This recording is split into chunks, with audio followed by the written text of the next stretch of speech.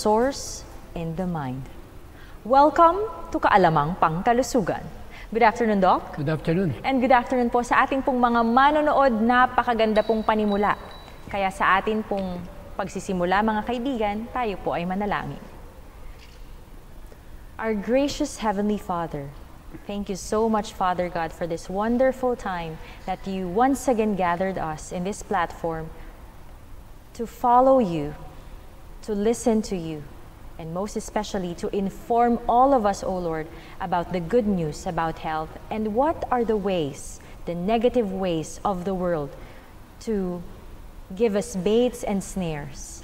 O Lord, we pray, Father, for the cleansing of our spirit, for guidance, for discernment, for forgiving, for the forgiveness of our sins, O Father. We ask everyone, Father God, watching Kaalamang Pangkalusugan to um, be enlightened, to be strengthened by your power alone, and may the Holy Spirit be upon us. Because we ask all these things in the loving name of our Lord and Savior, Jesus Christ. Amen. Amen. Mga kaibigan, napakaganda po ng topic na pinag-uusapan natin simula ng taong ito. At ngayon, hindi po natin yun puputulin mga kaibigan dahil buong mundo ay napapailalim sa ganitong sitwasyon. Mga kaibigan, pag sinabi po pala natin na mind controls the whole man, ibig sabihin, ang controlling system pala ng ating katawan, ng ating buhay, o nagpapagana sa atin pong katawan ay ang atin pong brain. Kaya alam mo Dok, napakahirap nitong pag-usapan ano, lalo na yung i- yung i-exercise natin na ang paganahin natin ay ang utak natin. Kaya nga meron tayong sa anatomy. Alam natin na talagang nakaselyo eh. Talagang sinild ng Panginoon yung utak ng tao eh. Na talagang matibay yung kinalalagyan eh. Kaya kung titingnan natin, meron din quotation si Miss White tungkol dyan eh. Ang sabi dito sa page sa 193 ng Living, ang sabi, The brain is the capital of the body, the seat of all the nervous forces of mental action. The nerves proceeding from the brain control the body. By the brain nerves, mental impressions are conveyed to all the nerves of the body as by telegraph wires. And they control the vital actions of every part of the, of the system. All the organs of motion are governed by the communications they, they receive from the brain. The brain are the avenues to the soul. The brain nerves, which communicate with the entire system, are the only medium through which heaven communicate with man and affect his inmost life. Whatever disturbs the circulations of the electric currents in the nervous system lessens the strength of the vital power and the result, deadening of the sensibilities of the mind. Kaya kung titingnan natin, talaga yung pinakakapital ng ating buong pangatawan ay itong utak ng tao. At dito rin binubuo yung kung anong decision yung gagawin mo. At ito rin yung lugar na siyang inuugnayan ng Panginoon. Yes. And that is the uh, only part of the body that gets communicate. And that is the reason why when we study about uh, the importance of, uh, of this vital organ, then we will realize that this is the most important one. Kaya hindi mo napapansin, lagi ko nababanggit ito, bakit kahit maputulan ka ng paa, kahit matanggalan ka ng isang kidney, kahit ma-open heart ka, buhay ka pa rin eh. Pero ang brain, huling-huling bumibigay yan Yes. talagang makikita. Kasi nandito yung choice natin eh. Nandito yung tinatawag na pinaka ah, kapangyarihan kung paano mo maintindihan na mahalaga ka sa buhay ng Panginoon. Amen. Gusto ko lang i-emphasize na sa atin pong mga manonood, yung sinasabi ni Doc na ang Panginoon, tayo, tinitignan niya na pinakamahalaga doon sa lahat ng kinreate niya. At tayo po mga, kapat- mga kapatid sa ano sa mind, character and personality, nakasulat po na all the physical organs are the servants of the mind. And the nerves are the messengers that transmit its orders to every part of the body, guiding the motions of the living machinery. Di ba, Dok? Kaya yung sinasabi mo na yung binasa natin sa Healthful Living, talagang yung mind natin, yun talaga yung controlling system ng ating katawan. Yeah, yun yung talagang... Kaya ing- ingatan natin, ano? Yeah, ang daming panira kasi dyan eh. Yun yung totoo lang eh.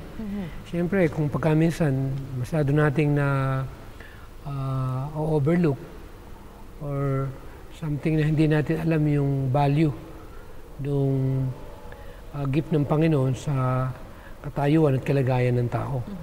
Kaya kung pag-aaralan natin kung paano proteksyonan itong ating uh, napakagandang uh, regalong ito, kung pagka minsan ay uh, hindi natin nakukuha yung tamang uh, kaligayahan at kung ano ang ibig sabihin ng tinatawag na word na valuing or appreciating Yes. or looking doon sa tinatawag na nag-provide yan.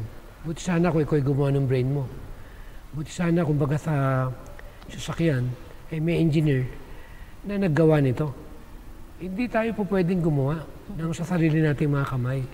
Talagang by the uh, power of God, kaya tayo lahat ay nasa mundong ito. Kaya ngayong hapon, ay ibig ko lang talagang tutukan ito eh. Kasi marami pinanggagalingan ng pagkasira ng brain eh. Unang-una, hindi alam ng karamihan. Ito nang ang mga adiksyon. Adiksyon ng sigarilyo, adiksyon ng alak, adiksyon ng shabu. Puro brain yan talaga eh. Sinisira niya. Kasi alam na pag nasira yung brain mo, taong ano ka, lupa ka. Ibig sabihin, parang buhay ka, but in reality, patay ka na. Dead ka. Ibig sabihin, ibig sabihin ng dead, wala ka ng choice. Wala ka ng, wala ka ng yung kakayanan para pigilan mo yung sarili mo sa alam mong hindi maganda sa sarili mo. Ito yung nakakatakot na living dead, ang tawag nila. Buhay ka, no? pero patay ka. Ang hirap naman Ang daming ganyan. Sa ngayon sa ating mga napag-aaralan. Akala ng marami ay ang kamatayan yung namatay ka lang ng yung wala ka ng hininga at nailibing ka na. Pero ang pangalawang ibig sabihin ng kamatayan, yung gumagalaw ka pa, nagsasalita ka pa, pero yung brain mo ay sira na. Naku, ang hirap nun. Sa ating pong mga manonood, ano, kung meron po kayong example, kung meron po kayong experience na regarding po dito sa pagkasira ng ating brain o yung mga nakakaapekto sa ating pong brain para alam mo yun, Dok, para at, para at least, di ba, malaman natin, maging aware tayo. Kasi, ang, sa, san, san ba nakikipag-usap ang Panginoon, Dok? Sa ating brain. Yes, sa frontal lobe natin, sa atin Frontal pong, yes, sa atin pong mga manonood. Kaya, kung ano yung makakaapekto sa ating frontal lobe, kung ano yung makakasira dito, ay talaga nga namang dapat nating putulin, kailangan nating pigilan, kailangan nating ihinto. At Dok, sa mga nakaraan nating mga episodes ay nakita niyo po mga kaibigan kung paano natin binatikos, kung paano minartilyo ni Doc yung example niya, di ba? Sa point gadget dito, na yan. Ang point dito, kung alam mo na na ito talaga yung magiging downfall mo, Mm-hmm. at ito talaga yung magiging dahilan ng pagkasira ng brain mo, at hindi mo hininto, ang tawag dito ay nandun ka na sa senaryo na talagang no turning back. Mm-hmm. It means that person ay wala na yung kanyang ability to stop.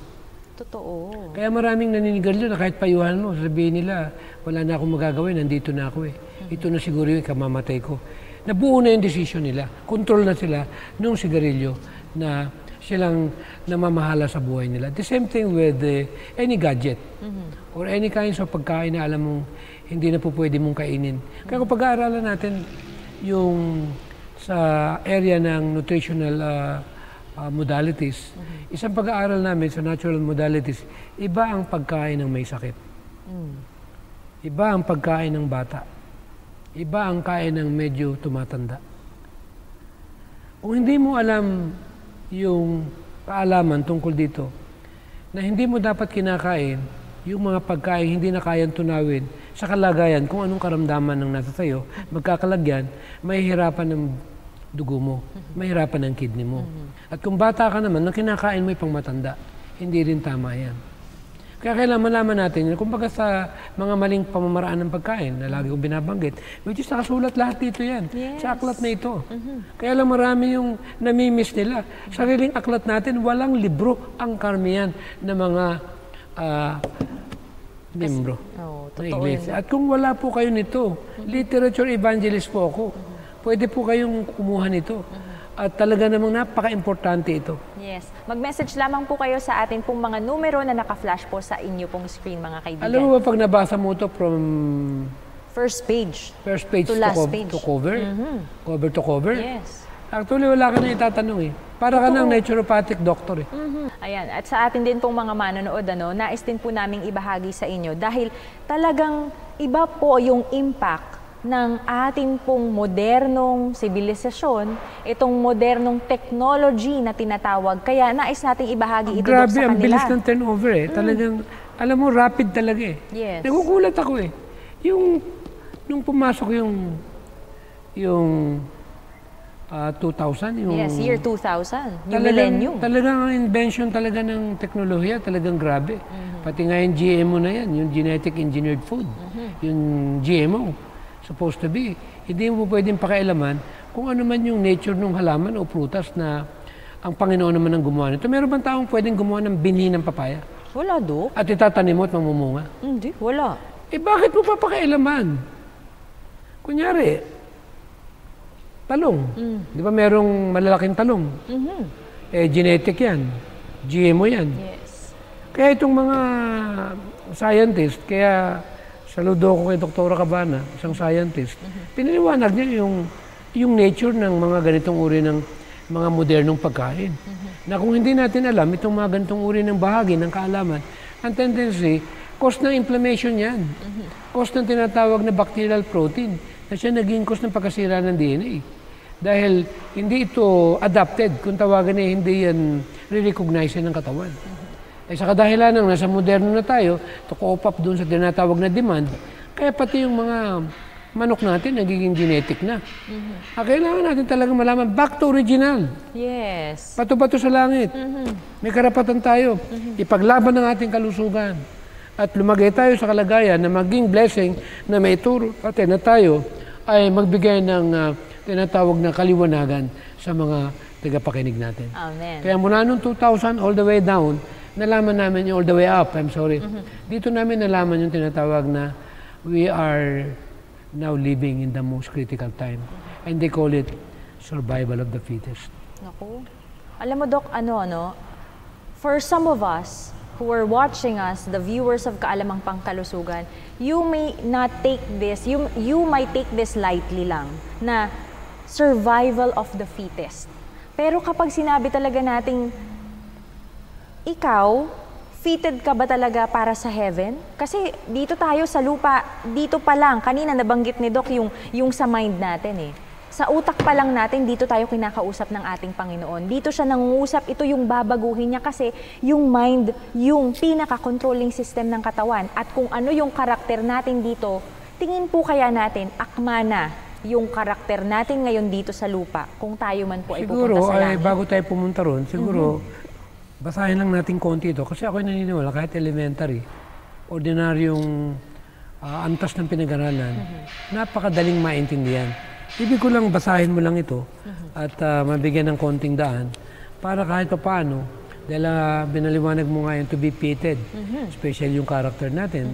Because we all believe that ah, the time that we have is something very uh, exciting, especially the rapid turnover, especially the uh, uh, modern technology, that uh, uh, our mind should be the number one uh, yung tinatawag na po proteksyonan.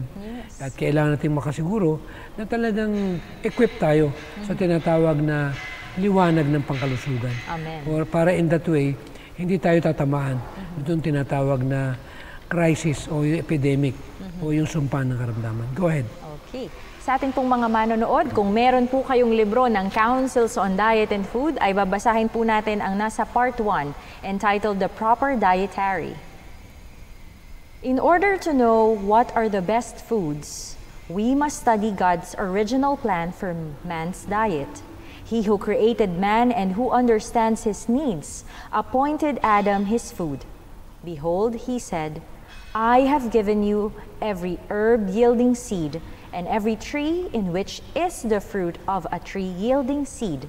To you it shall be for food.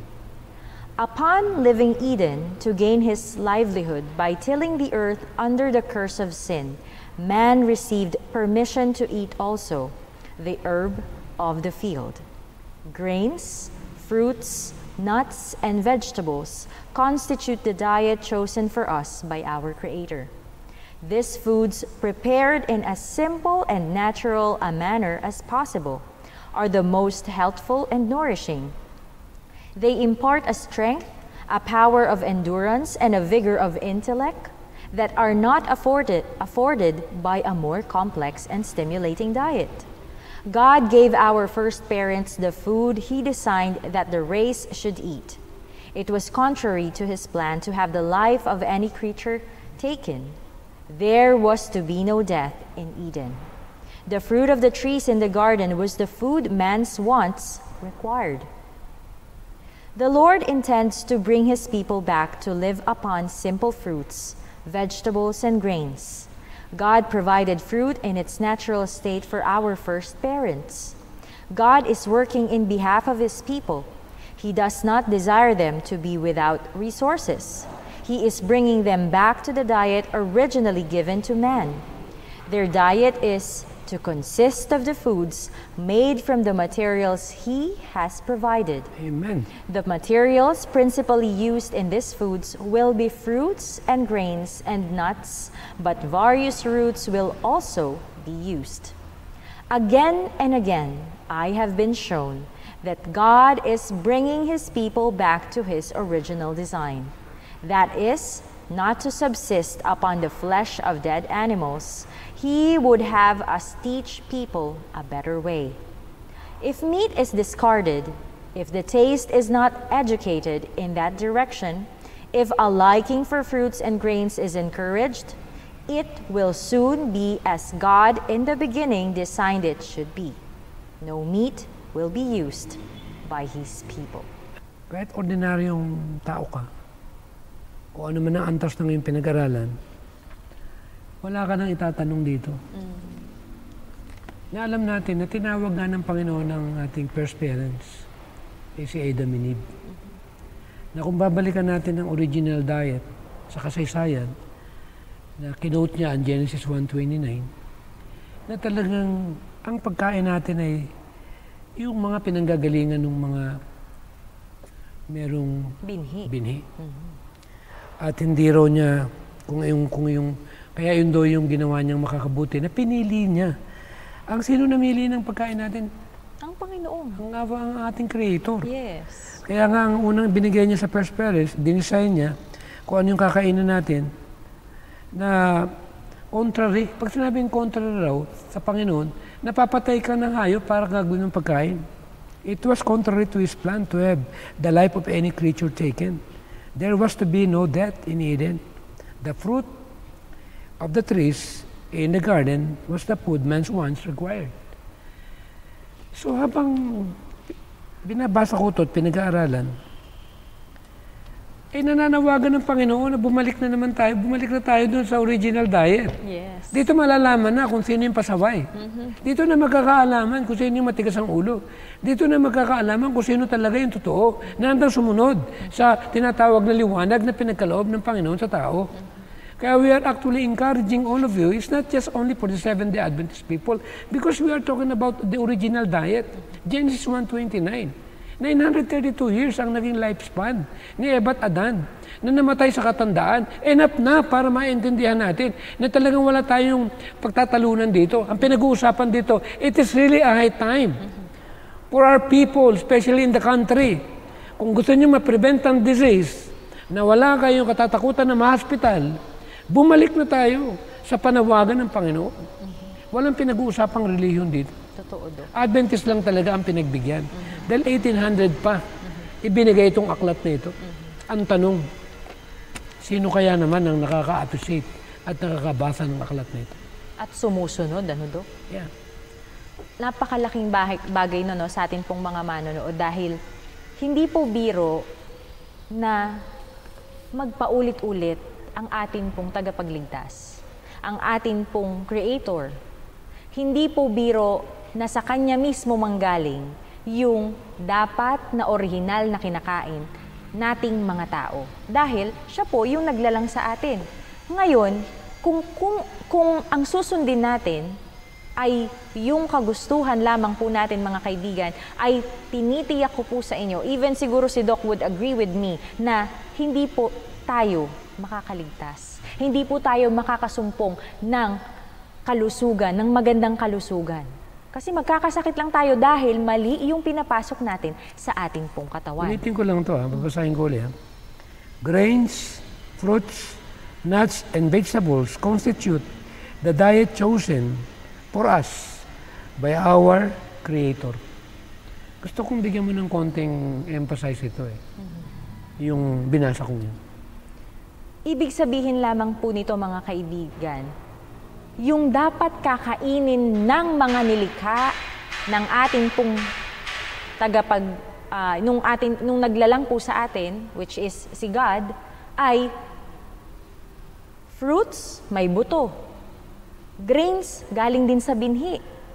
Ah, ano pa yun? Nuts. nuts o And vegetables. o vegetables. Lahat po nun ang pinanggalingan nun mga kaibigan ay may buto. Ang pinakamabigat dito, chosen by our Creator. Yun. Ang pinakamabigat, siya yung namili nung ating pong dapat kainin. Parang sa isang magulang po, di ba, Dok? Yeah. Parang sa isang magulang mga kaibigan. Tingin niyo po ba, para po sa ating pong mga magulang na nanonood, papakainin niyo po ba ang inyo pong mga anak, ang inyo pong mga supling, especially kung yung mga bagong panganak lamang po, no? Papakainin niyo ba sila ng isang bagay na alam niyong makakasama sa kanya? Papakainin niyo po ba sila ng alam niyong ikamamatay nila? Hindi naman po, di ba? Kaya ganun din po ang nasa isip ng ating pong Panginoon, ng ating pong tagala- tagapaglalang. Dahil ang Diyos, minamahal tayo, sinisinta tayo. That's why, for God so loved the world that He gave His only begotten Son, that whosoever believeth in Him should not perish, but have everlasting life. Even dun sa pangako na yun, Dok, Alam may mo yung believe it kaligtasan. in Him. Mm. Siya nagbigay ng message na ito eh. Kung Yes. naniniwala ka sa Kanya, no question asked. Yes. Siya Paniwalaan nagsabi- mo. Siya nagsabi, fruits, nuts, grains, and vegetables chosen Mm-hmm. by our Creator. Kaya sinampulan ni Adam and Eve. Talagang pinangatawanan nila. Wala silang tinatawag na ah, kinuhang mga animals para masacrifice ang buhay ng animals para gagawing pagkain nila. No way. Hindi nila sinuhay. Talagang pinatunayan nila. Yes. And, and even po, hanggang sa sila'y mamatay, hindi po sila nakatikim ng flesh meat. Isipin mo, Dok, ilang taon nga si Adam? 932. O, di ba? Sa ating pong mga manonood, meron na po ba kayong nakilala na umabot na po sa 900 or even 300 o 500 years old sa panahon po natin? Di ba, Ito, binabasa lang natin. ha? Hindi ito yung parang gumagawa tayo ng sariling istorya. Yes. Kaya kung titingnan natin sa kasaysayan, ikaw ba, for example, lagi kong binabanggit ito, pwede mo bang escape o lagpasan yung kasaysayan ng banal na kasulatan? At Hindi. doon ka pupunta sa kalagitnaan o sa dulo na lang. Hindi, Dok. Kailangan simulan ko doon sa kung saan nagsimula yung libro na binabasa ko para malaman ko kung ano yung katapusan. At kung ano naging dahilan ng pagkapahamak ng sangkatauhan. Bunga na namimili lang sila ng fitted sang-ayon doon sa kanilang doktrina na kanilang ah, tinatayuan. Na tayo dito, walang pinag-uusapang ah, kung ano pa mang pulutong ang ating kinabibilangan. Ang pinag-uusapan natin, yung kabuuan ng banal na kasulatan. Na huwag nating papalipasin ang kasaysayan. Lesson to eh. Kaya ngayon, game changer, What's the Health? Napakarami ng libro ngayon na mababasa tayo talagang kanilang pinapatunayan na talagang adbentahe. Ito na nga yung Mayo Clinic eh. Actually, nung nauso yung pandemic eh, tungkol dun sa coronavirus eh. Ang sabi nga ng mga doktor doon, ng mga talagang well-known uh, medical practitioner, they found out that uh, the people who are vegetarian, napakaliit ng risk para sila ay uh, uh, tamaan ng, ng ganitong uri ng karamdaman. Dahil ang virus, nagugustuhan niyang pumunta sa isang lugar na meron siyang source of income or source of Yes. living. Totoo yun do. Kung marumi yung katawan mo, kumakain ka ng flesh, dahil flesh sila, mag enjoy yan sa Totoo. loob ng ating katawan. Pero kung ang environment mo, ang environment mo, ay puro prutas at gulay ang laman, at normal ang bowel movement mo, at may 8 loaves of health ka, I'm sorry, hindi para sa atin ang tinatawag na iba't ibang virus na yan. Hindi tatagal yan, lalabas kusa yan, makapasok man yan. Bakit? Sasabihin nila, boring naman dito. Totoo yun, Dok, di ba? Sabihin na, wala naman Oo, tayo. wala dito. silang mapapalain. Wala ano to here. Kunyari, pumunta ka sa isang lugar, may handaan. Ah, naka-gown sila ng napakaganda. Gusgusin ka. May iya ka, lalabas ka roon. Totoo, Dok. Mararamdaman mong hindi ka katanggap-tanggap. Hindi ka bagay doon eh. Ngayon, kunyari, may nakapasok na virus. Teka muna, hindi tayo para dito. Nasaan pang bitukan ito? Doon ako pupunta para paglabas makasama na ako. Pero pag may nakitang pagkain niya sa loob, Nako, at mamamahayan, Dok. nakitang marumi ang loob ng katawan, ba marumi pala rito, taga rito to. Magtatagal yan. Taga rito rin ako. Kasi yun yung pagkain nila. Yes. Sinimulan po natin sa orihinal na plano ng ating Panginoon sa sangkatauhan. Ngayon, Dok, pinag-uusapan natin talaga napaka ah, timely at talaga nga namang pinag-uusapan siguro walang tahanan bihira ang ang, ta- ang walang taha- ang tahanan na walang internet tama ba ako dok Yeah, wala. kasi 'di ba sa modernong na eh. panahon natin ngayon Halos lahat na. Sa aklat nito, meron binabanggit dito yung health reform and the third angel's message. Ang sabi rito, I was again shown that the health reform is one branch of the great work which is to fit a people for the coming of the Lord. amen It is closely connected with the third angel's message and the hand is with the body. Aba, tinitingnan ko to.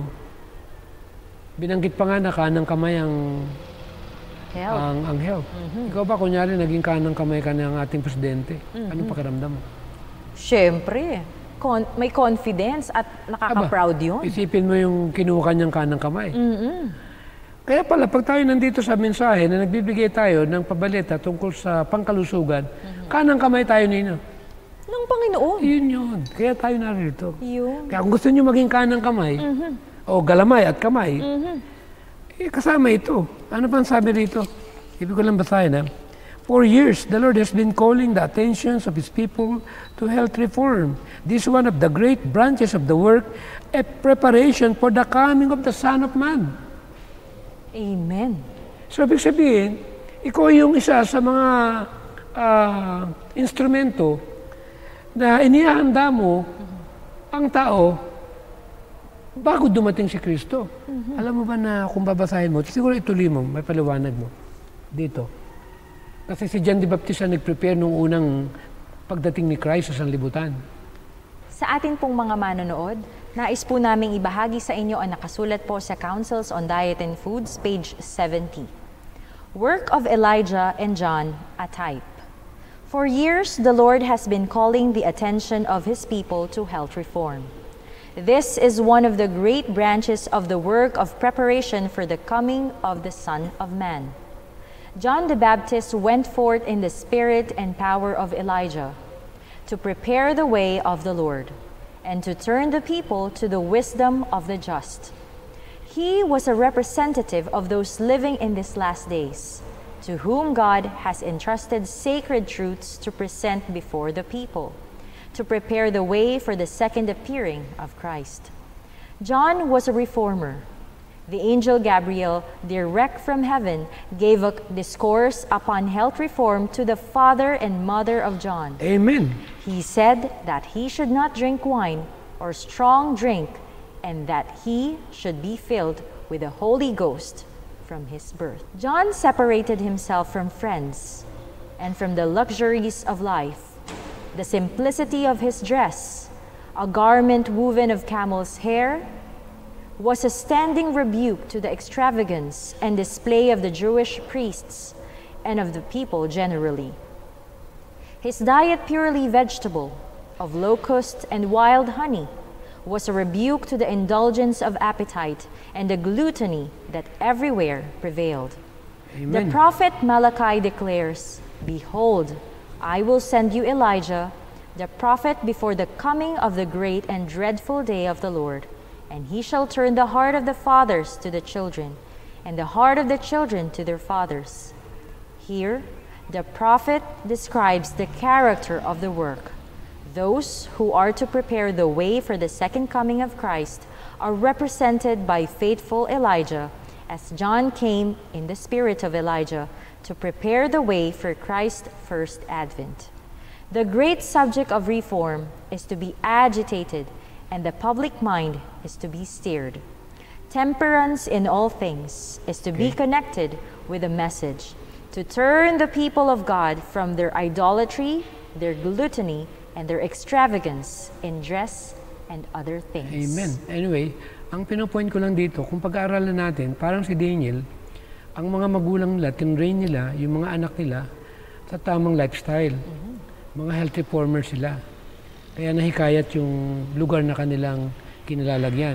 At kung mababasa natin yan, katulad yan, nabasa natin ngayon, na itong Spirit of Elijah, noong ang ating Panginoong Heso Kristo ay dumating sa sanlibutan ng una, si John the Baptist ang ginamit niya. Kung pag-aaralan mo, nung nagpunta kami ng Israel, di ba binanggitan yung vegetables, gulay. Akala namin yung locust, ito yung lumilipad. Sa Israel pala, merong locust tree. Puno pala ito eh. Hindi pala ito yung locust na, yung di ba pag nagkaroon ng mga... Na insekto. Insekto. Akala natin, insekto yung kinakain ni John the Baptist. Hindi pala. At ito pala si John the Baptist, pure vegetarian. Amen. At ang sabi pa doon, yung mga magpiprepare daw na ihanda sa second advent ni Christ, kailangan daw magawa din natin yung espiritu na kung paano may prepare natin yung tinatawag na Panginoon sa kalawang pagparito na kailangan talaga ituro natin yung health reform. Amen. Well, tayo yung magpiprepare. Eh, Yes. paano mo magagawa ito kung contrary yung ginagawa mo? Kaya nga sabi ko nga, napakahalagang maintindihan ito. Dahil kung pagka minsan, binabaliwala natin, ang dali natin sabihin, Jesus is coming soon. But the, the point is, are we preparing the people? Yun ang tanong, di ba? Are we teaching them to become healthy? Alam mo, Dok, no, saying that, naalala ko no, sa atin pong mga manonood, nais po naming ibahagi po sa inyo, yun nakasulat po sa The Advance. Ang sabi po doon, God works with our efforts. We may close the way for sinners by our negligence and selfishness. Ibig sabihin po pala mga kaibigan, tinutulungan tayo ng Panginoon, tutulungan tayo ng Diyos sa mga effort na ginagawa natin para sa kanyang kadakilaan, para sa kanyang mga ministries, para sa kanyang gawain. Pero, ang sabi po dito mga kaibigan, pero tayong mga tao ay maaaring magsara magsara ng ano po, ng daanan para sa ibang makasalanan dahil tayo po ay makasalanan. Pero kung tayo ay nagpupursige upang maging isang ehemplo, maging isang ambassador, maging isang channel na blessing ng ibang tao, ng ibang makasalanang katulad natin, na tulad ng mga disipulo, katulad ni John the Baptist, ay ano po, kailangan daw po nating hindi tayo magkamali. Kailangan nating isaalang-alang at hindi dapat yung makasarili nating ano, kagustuhan. Dahil kung ganon ang mangyayari, with negligence, with selfishness, we can close the way for sinners just like you and me. At yun ang pinakamahirap Sabi doon. pa nga nito, ulitin ko lang, ano, ah, He was a representative of those living in these last days, to whom God has entrusted sacred truth to present before the people to prepare the way for the second appearing of Christ. John was a reformer. The angel Gabriel, direct from heaven, gave a discourse upon health reform to the father and mother of John. He said that they, should not drink wine or strong drink, and that they should be filled with the Holy Ghost from the birth. Ang pinupoint ko rito, ito palang mga magulang din ni John the Baptist, sila talaga yung nagturo dito kay John the Baptist kung paano maging health reformer. At health reformer din yung kanya mga magulang. Yes, amen. Eh, paano matuturuan ng anak mo ng lifestyle diet o eight laws of health kung ikaw mismong magulang? Eh, taliwas yung tinatawag na ipinakikita mo. Walang iniwas sa cellphone. Ayaw mo humawak ng cellphone yung anak mo. Pero ikaw na magulang, araw-araw hawak mo. Totoo yan, Dok. Huwag tayo matakot sa giant ng mga mga higanting ah, isip natin na hindi natin kakayaning labanan. Ang Panginoon ang lalaban sa atin. Yes. Pinababalik ka na nga eh. Go back to original diet. Para din naman para sa iyo yan. Yes. Kaya yun yung point na talagang napakagandang inuulit-ulit ito. Dahil ang pinag-usapan natin dito yung brain. Bakit nagkakaroon ng ganitong kahirapan para sumunod dito sa liwanag na binigay ng ating Panginoon? Ay, sa pinanggagalingan, cellphone. Pag nasira na yung brain mo, believe me, go ahead. You talk about a little bit on uh, what you call it. Anyway, continuation natin yan, di ba? Yes. Nung mga nakaraang episode natin. Mhm, tama ka dyan, Doc. Ito mga kaibigan, nais po naming ibahagi po sa inyo ang nakasulat po sa emfscientist.org. International Scientist Petition by the United Nations to protect humans and wildlife from electromagnetic fields and wireless technology. New York, May 11, 2015, an appeal has been submitted by 190 scientists from 39 nations to the United Nations requesting the WHO or the World Health Organization adopt more protective exposure guidelines for non ionizing electromagnetic fields in the face of increasing exposures from many sources, called the International EMF Scientist Appeal. The petition calls on the United Nations and its organizations to encourage precautionary measures and conduct an environmental assessment. For the WHO to educate the public about health risks, particularly to children and pregnant women, and for the United Nations Environmental Program to assess the potential impact of EMF exposure on all living organisms. Sipin mo, di ba? Mismong scientist na ang nagsasabi at naglatag po, nag-appeal para po saan? Para po kanino? In behalf of us na mga human beings, na mga normal na mga Pilipino or kung ano man po yung atin pong mga race o kung saan man po tayong country. Isipin niyo po, 39 nations ang nag-appeal para lang magkaroon po ng ano ng safe environment free from all electromagnetic fields and wireless technology tayong mga tao. But then, what we, what we chose is to have our gadgets. Well, di naman yun maiiwasan, sabi po nga ng karamihan, tama po ba? Pero mga kapatid, mga kaibigan, we are appealing to you to decrease the use of our gadgets kasi nga pinag-aralan na natin, sinabi na natin kung ano yung mga negative, yung mga disadvantages nitong mga gadgets natin, especially yung atin pong internet addiction. Alam mo, Dok, study about the brain detect 3G mobile phone radiation peaks. Kailan kaya to? Or ano kaya ito? Does the brain detect 3G mobile phone radiation peaks? Kasi Three- Dok, meron... 3G pa lang yan. Oo. Eh, Mer- nag-4G na, ngayon 5G na. Yes, totoo, Dok, Yung ba? 3G na nga lang, may epekto na eh. Mm-mm. Kaya ito po mga, kapat- mga kapatid, babasahin po natin. Last 2015, mobile phone study by researchers from Netherlands found that when a dialing mobile phone is placed on the ear, its radiation is electrically detected by the brain. Sipin mo, Dok. So kahit Brain pala na agad. call and text lang, Oho. pag ginamit mo, Meron pa din merong kuryente ito na uh, may epekto sa brain. Mm-mm, nadade- nadedetect siya ng brain natin. So, Doc, ang tanong ko sa'yo, goodbye cellphone na ba talaga?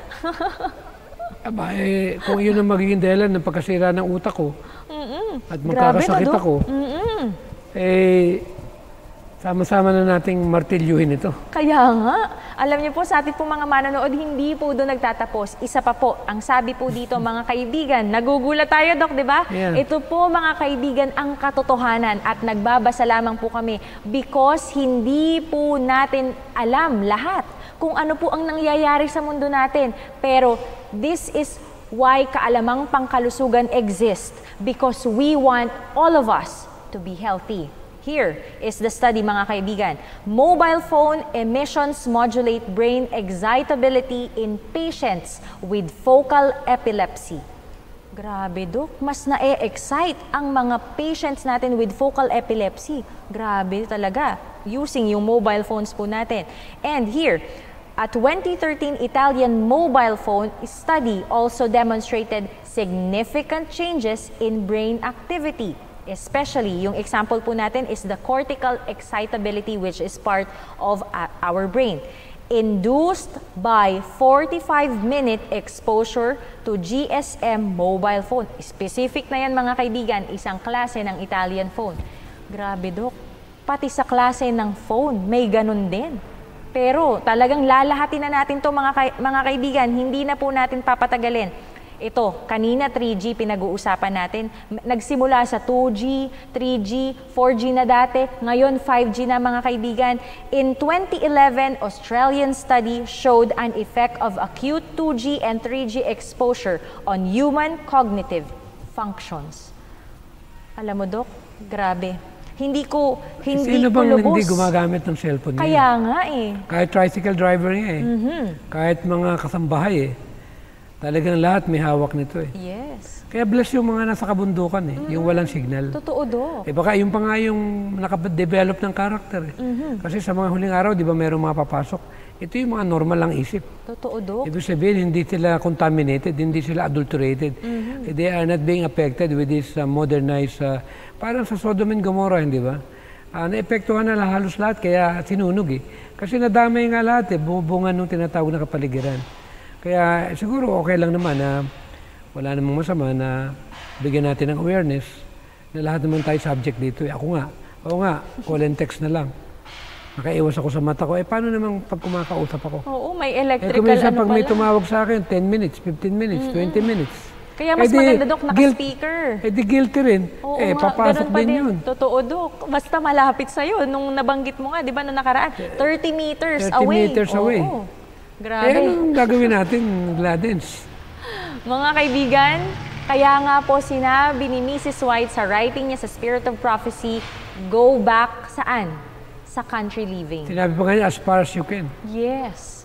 Magpakalayo-layo Siguro tayo. gawa mga- nung walang signal doon. Oo, totoo din, di ba, Dok? Totoo din. At saka doon, mas may time tayo magtanim. Hindi tayo bombarded with a lot of Ito busyness and si July, stress, nabanggit nga niya na pagpupunta doon sa kanyang country living, nagtanim siya ng maraming gulay. Mm-hmm.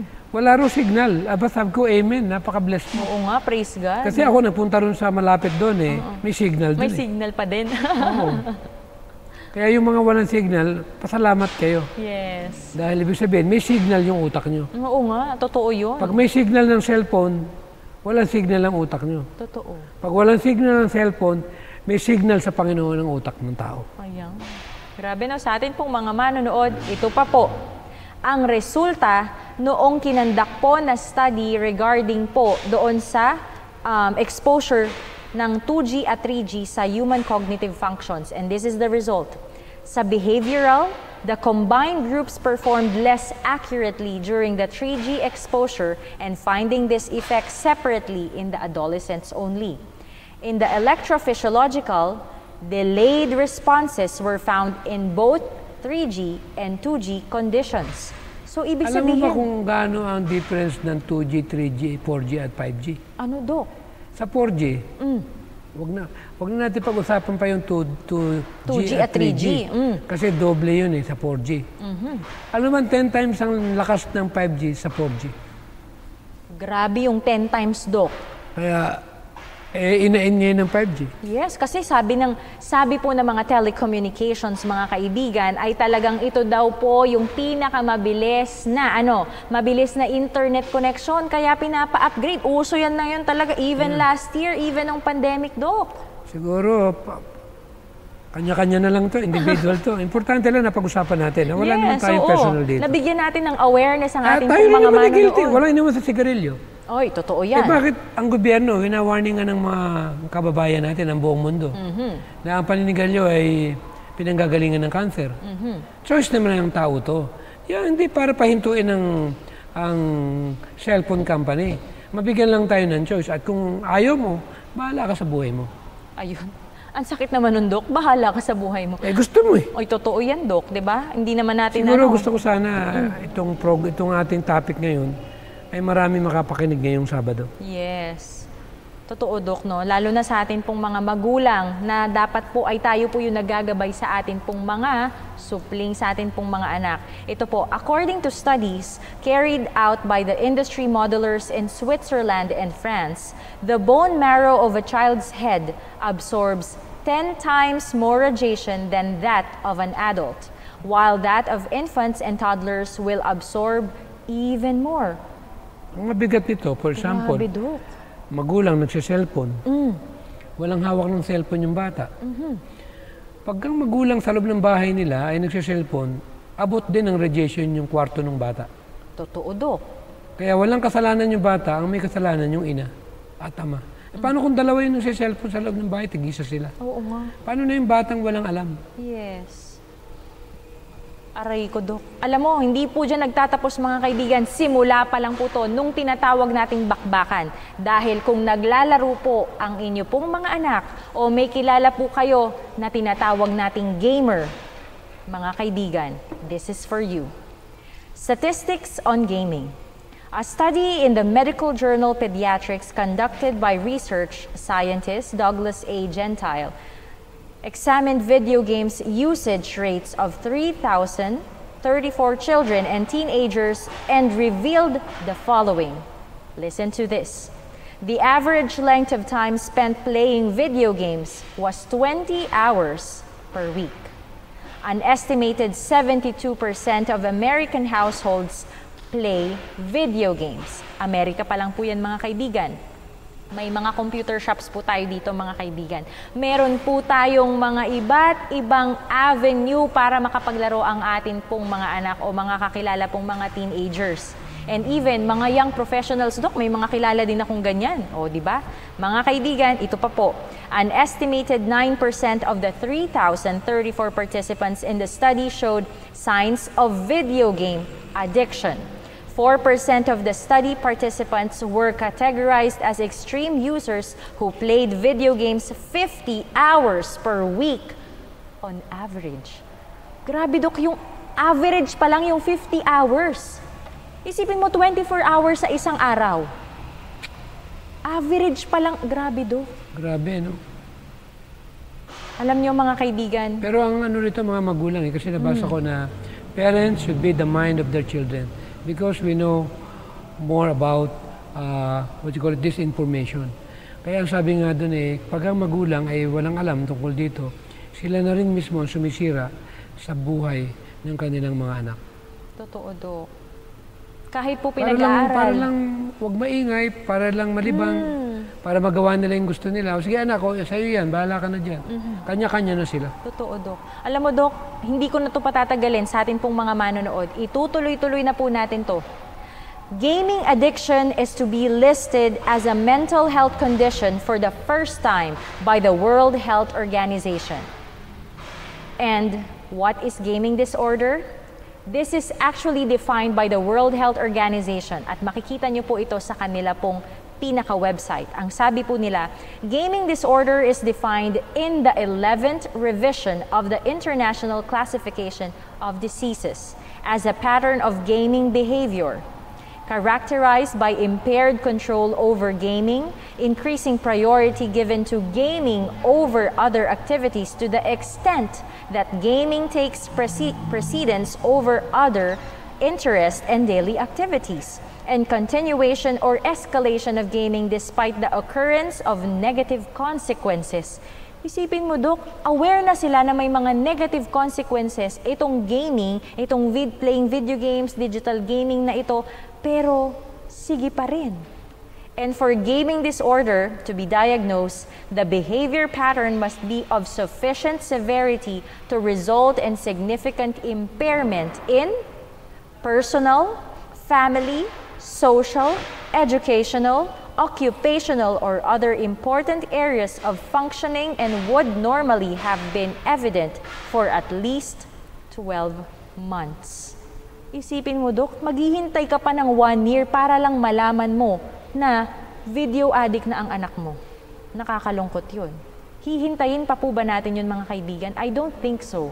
Kailangan ngayon na po natin baguhin yun. Ngayon na po natin putulin yun before maging huli ang lahat.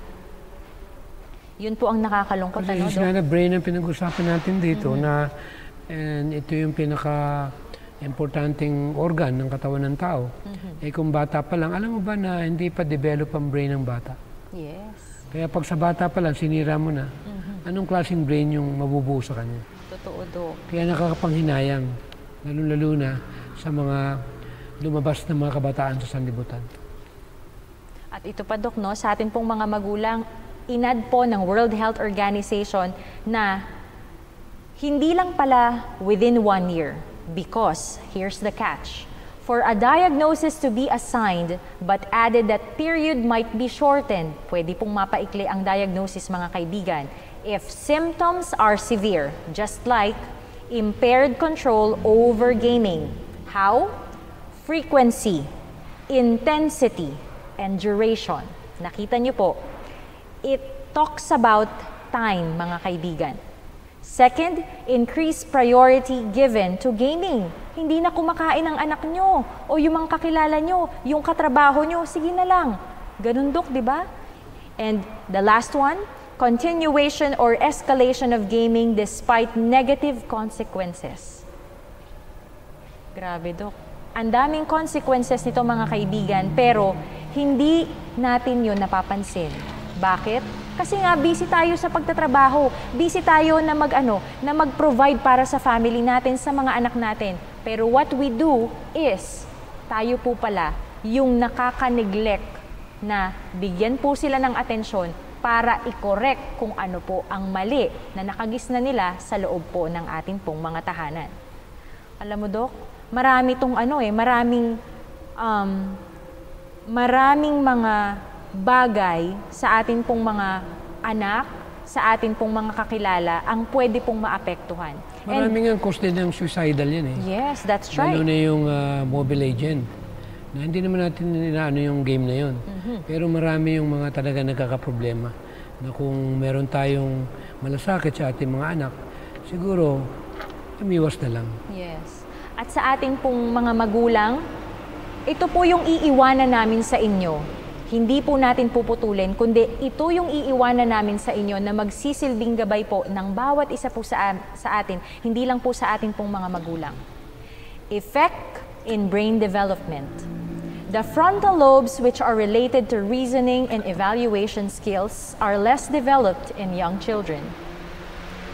This makes them more susceptible to negative, especially scary, content in video games and media because they are less able to interpret context. Younger children are also less capable of distinguishing between reality and fantasy. And research on gamers aged 15 to 21 years old shows that elements of video game play such as thoughts, feelings, and actions can cross into life, into real life. Hindi lang basta ano pala dok, hindi lang basta buhay kundi akala nila totoo na yon na nangyayari. Now, how video games affect a child's brain? Dok, ito na ang isi-share natin sa kanila. The parietal lobe processes sensory information, movement, and touch within seconds and applied in games that require real-time action. The frontal lobe, stress interrupts higher thought processes, leading to mood, cognitive, and behavioral changes over time. At dyan po tayo kinakausap ng atin pong Panginoon. Prefrontal cortex, brain's command and control center dictates personality, goals, and values. Studies suggest gaming can boost brain cell connections and the anterior cingulate cortex plays key role in cognitive motor and emotional processing, regulating blood pressure and heart rate, activated by shooting in video games. Amygdala controls stress response when it senses danger. It instantly sends this stress signal to hypothalamus, and the hypothalamus triggers fight or flight response Repeated fight or flight responses lead to state of chronic stress. And lastly, ventral tegmental area during gaming, feel-good chemical dopamine travels to prefrontal cortex. Mood is elevated by intense visual stimulation, risking game addiction. Mga kaibigan, yun lamang po ang nagiging epekto ng adiksyon ng paglalaro sa atin pong brain. Dok, yun lang naman yung topic natin. Hindi naman mabigat. Hindi naman nakakasira ng utak. Talagang ano lang po ito, paalala na naririto tayo hindi para uh, i-down natin kung ano man yung mga modern technology na yan. Dahil meron din namang kabutihan na naidudulot yan. Kaya lang, kung hindi natin alam kung ano yung mga side effect nito, baka ang mangyayari ay uh, dat na na lang tayo ng problema. Ba't nawala na yung tinatawag na kaayusan ng bawat tahanan. Maraming salamat, Doc. At sa atin pong mga manonood, ito lamang po ay isang gabay sa bawat isa po sa atin. Awareness, kumbaga. At magtapikan po tayo kung tayo po ay nakakakita ng pagkakamali o ng dapat nating ayusin sa atin pong personal na buhay at sa atin pong mga pamilya. Sa atin pong pagtatapos ay nais po naming iwan sa inyo ang nakasulat po sa Mind, Character, and Personality. Few realize the power of mind over body, but few realize the power that the mind has over the body. A great deal of the sickness which afflicts humanity has its origin in the mind and can only be cured by restoring the mind to health. There are very many more than we imagine who are sick mentally. Heart sickness makes many dyspeptics, for mental trouble has a paralyzing influence upon the digestive organs.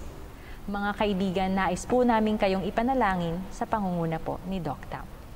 Ama namin Diyos, kami po'y muling nagkakaloob ng aming pagpapu, pagpuri at pagpasalamat sa patuloy na uh, pagkakaloob sa amin ng mga pagpapala, kaalaman na siyang nagpapaalala sa amin na kami kailangang uh, pasalamatan ng mga regalo at bahagi ng aming buhay. Itong aming mga pinag-aralan, Panginoon, alam namin na napakalaking kapamaraanan na kung paano masira ang buong pagkatao ng sangkatauhan.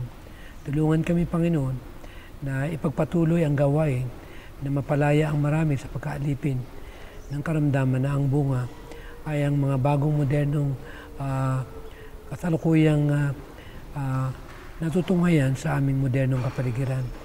Lagi namin kinikilala, Panginoon, na wala kaming kakayanan sa aming sariling kalakasan na kami ay dumidepende lamang sa biyaya ng aming may kapal. Panginoon, humihingi po kami muli ng napakarami naming kasalanan sa inyo. Itong bahagi namin pinag-aaralan, lahat po kami, Panginoon, ay nangangailangan ng tulong na nanggagaling sa inyo. Na makalaya kami at ang importante sa amin, Panginoon, ay mahihanda namin ng maraming mga tao dahil bahagi ang kaalaman ng pangkalusugan na maingatan na walang kapintasan. Katulad po ng binanggit ninyo sa uh, 3SM 292 na ang aabutan ninyo na buhay na nagiintay sa aking Panginoon ay walang bahid ng karamdaman. At ito po yung tangi naming mitiin, Panginoon, na binanggit sa una ng Thessalonian 5.23 ng aming pangatawan, ng aming kaisipan, ang aming spiritual na kabuhayan ay kailangan madatna na walang kapintasan o anumang bahid ng kasalanan. Tulungan kami, Panginoon, na lahat ng ito ay aming maisagawa sa kaunting panahon na natitira sa sanlibutan ito. Ingatang lahat ng aming mga tigapakinig at pagkalooban kami lahat ng kaliwan, kalinaw, kalinawan ng aming kaisipan at aming desisyon ng Panginoon kung anong desisyon ng aming papanigan na ang katawan namin ito ay pag-aari ng aming manlalalang. Marami pong salamat. Pagpalain lahat kami sa gabing itahapong ito. Lahat ng nangunguna sa Hope Channel at ang kabuuan ng World Church Panginoon ay huwag niyo pong pababayaan dahil kami nasa krisis na kailangan naming magkaroon ng revival at amin tanggapin na kami ay nabubuhay na sa napakasela na kapanahunan. Marami pong salamat, Ama, sa muli po ninyong pagtungay sa aming mga kahilingan sa pangalan po ng aming Panginoong may kapal sa pangalan ng aming Panginoong Yesus. Amen. Amen. Mga kaibigan, salamat po sa inyo pong pagsubaybay at samahan niyo po kaming muli next week, 4pm, dito pa rin po sa Hope Channel North Philippines. Ito po si Gladens Panuelos, kasama pa rin po si Dr. Mateo para sa Kaalamang Pangkalusugan.